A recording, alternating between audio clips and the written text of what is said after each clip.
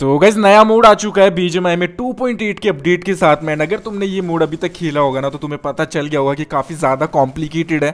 इसमें तीन तीन चीज़ें हमें दी हुई है, जिनको हम यूज़ करके थोड़ी सी जो पावर्स है ना, उनका इस्तेमाल कर सकते हैं। तो गैस वीडियो को एंड तक ज़रूर से देखना, सारी चीज़ें तुम्हें क्लियर कर दूँगा एंड जब भी तुम नेक्स्ट टाइम इस मोड को खेलोगे ना, सारी चीज़ें तुम्हें पता रहेंगी, तुम्हें पता रहेगा कि कहाँ पे उतरना है, कैसे चिकन डिनर लेना है। तो शुरू करते हैं आज की वीडियो को without wasting any more time get started तो गाइस सबसे पहले बात करते हैं कि जंप हमें किस जगह पे करना है। तो गाइस जैसा कि पिछले मोड में दो जगह पूरे मैप में होती थी ना हॉट ड्रॉप वाली वैसे इस मोड में भी है ना, दो जगह मिलेगी जहाँ पे हम उतर सकते हैं, जहाँ पे ऑटोमेटिक रिकॉल गार्ड में मिलेगा। तो अगर तुम मर जाते हो यहाँ पे उतर के तो तुम ऑटोमेटिकली रिकॉल भी हो जाओगे।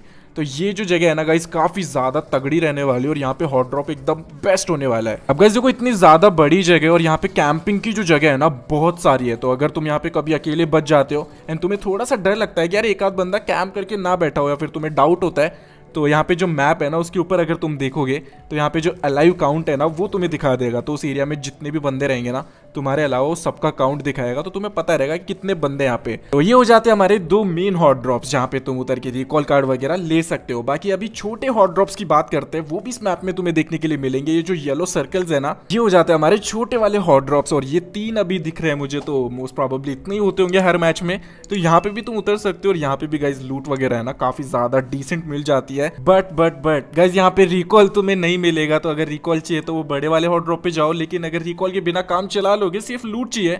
तो यहाँ पे तुम आ सकते हो। डिसेंट लूट मिलती है एकदम मस्त। चार बंदों की लूट है ना, तुम इजीली कर लोगे। एंड यहाँ पे बंदे भी कम आते हैं तो सर्वाइव करने के चांसेस ज़्यादा रहेंगे। और यहाँ पे वो जो अरीना काउंट होता है ना, बंदे कितने होते हैं, वो सैडली नहीं बताता है। तो यहाँ पे कोई कैंप करके बैठा होगा ना तो उसके लिए तैयार रहना थोड़ा सा तो ये हो जाती है हमारी उतरने वाली जगह जहाँ पे तुम लूट रिकॉल वगैरह कर सकते हो। तो गाइज़ अभी पावर्स वगैरह की बात कर लेते हैं, क्योंकि उनकी आदत तो हमें अभी डल चुकी है तो हर मोड में हमें पावर्स चाहिए। तो यहाँ पे है ना, मुझे इतना ज़्यादा कुछ पसंद आया नहीं है बट हाँ ये वाली जो पावर है ना, वो काम की है थोड़ी सी काम आ जाएगी। तो इससे क्या होता है ना कि तुम कहीं पर भी जो बिल्डिंग्स वगैरह होती है ना उनके ऊपर जो उड़ के या फिर थोड़ा सा ये फेंकता है एकदम से जंप लेता है तो उसकी मदद से तुम किसी भी बिल्डिंग के ऊपर जा सकते हो। अब ये जो स्कूल वाली बिल्डिंग है ना, यहाँ पे तो ये इजीली चढ़ जाता है। अभी मेरा फ़र्स्ट मैच था तो मुझे इतना अच्छे से यूज़ करना आ नहीं रहा था। बट एनीवेज इसको तुम दो बार यूज़ कर सकते हो तो एक बार मैंने यूज़ कर लिया, अभी वापस यूज़ कर लेता हूँ। फिर थोड़ा सा वेट करना पड़ेगा एंड देन ऐसे तुम उसे यूज़ कर सकते हो। अब गाइज़ हम ओपन में तो बहुत बार फंस जाते हो और कोई कवर भी नहीं होता है। तो ऐसे में ये पावर हमारे काम आने वाली है तो इसको यूज़ करना है तुम्हें वो बटन दबाना नीचे वाला। एंड देखो फिर यहाँ पे क्या होता है। तुम्हें थोड़ा सा टाइम मिलता है कि कहाँ पे कवर बनाना है। एंड दैट्स इट जैसे तुम नीचे जाते हो पंच मारता है ये बंदा। एंड तुम्हारे लिए थोड़ा सा जो कवर है ना, वो कुछ देर के लिए यहाँ पे बन जाता है। अब ये परमानेंट रहता है या फिर नहीं, वो मैंने ट्राई करने के लिए ना, इस पर थोड़ी सी बुलेट्स मारी यहाँ पे। और तुम देखो फिर क्या होता है। तो मुझे नहीं पता ये टाइम की वजह से अंदर गया या फिर मैंने इसके ऊपर बुलेट चलाई, उसकी वजह से अंदर गया। बट हाँ ये है ना परमानेंट तो नहीं है। अगर गोलियाँ वगैरह चलाओगे तो ये टूट भी जाता है।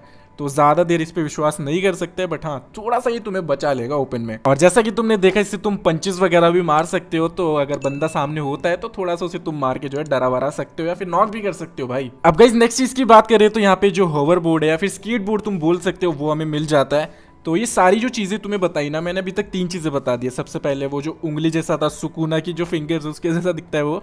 एंड जो सेकंड चीज़ थी हमारी, जो पंचेज मारने के लिए होता है गंटलेट्स कुछ बोलते हैं उसको। एंड ये जो थर्ड चीज़ है जो स्केट बोर्ड है, ये सारी जो तीनों चीज़ें है ना, वो तुम्हें अपने जो नेड वगैरह फेंकते हैं स्मोक वगैरह फेंकते हैं ना, उस वाली ट्रेस एक्सेस होगा।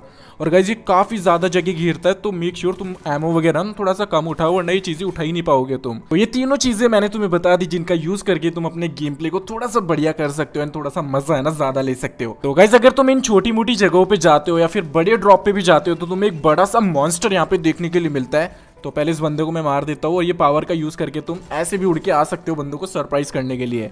बट हाँ अगर तुम इन जगहों पे जाते हो ना तो ये बड़ा वाला जो मॉन्स्टर है ना, ये तुम्हें मिलता है एंड इसको मारते तुम्हें। बहुत बढ़िया लूट मिलने वाली है। एंड इसको मारना है ना थोड़ा सा मतलब मुश्किल तो नहीं है बट एमो ज़्यादा वेस्ट करवा देता है ये।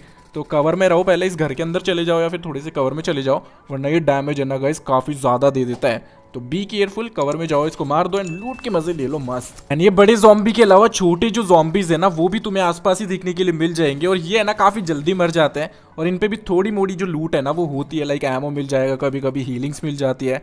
तो ये थोड़ा सा ना लूट का काम करवा देते हैं। तो कैसे अभी छोटे मोटे नए चेंजेस के बारे में भी बता देता हूँ। तो विक्ट्री डांस अभी चेंज हो चुका है। अगर तुम चिकन लेते हो तो जो भी अपना एमवीपी होता है, उससे बोलो कि फटाफट से ट्रॉफी लगाए एंड यहाँ पे तुम डांस देख ही सकते हो।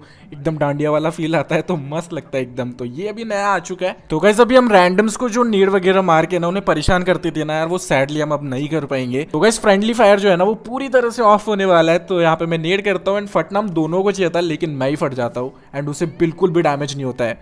तो भाई फ्रेंडली फायर तुम अब नहीं कर सकते हो रैंडम्स को ट्रोल करना या फिर जो भी तुम करते थे ना, उसकी गाड़ी वगैरह फोड़ना, वो सब नहीं कर सकते हो, क्योंकि अगर तुम्हारा जो टीममेट है, वो गाड़ी चला रहा है तो अगर तुम गाड़ी पे भी डैमेज करते हो तो गाड़ी डैमेज होगी ही नहीं। तो या गाइज़ यार यही थी आज की हमारी वीडियो अगर तुम्हें पसंद आया तो लाइक कर सकते हो एंड भाई देखो, कोई भी जो रिकॉल वगैरह ना तीन तीन बार होते थे, वो नहीं होने वाला है। एक बार तुम अगर यहाँ पे उतर जाते हो तो तुम्हें रिकॉल मिलेगा, या फिर तुम रिकॉल टावर से एक बार कर सकते हो। दैट्स इट दो बार तुम रिकॉल मैक्सिमम हो सकते हो। तो काफ़ी ज़्यादा सैड लग रहा है और अभी मुझे पुराने मोड की याद आ रही है ऑल दो मैंने उसको खूब गालियाँ दी जब मैं उसे खेल रहा था। बट यार, इससे तो बहुत ज़्यादा अच्छा था। कॉमेंट सेक्शन में मुझे बताना कि तुम्हें ये मोड कैसा लगा।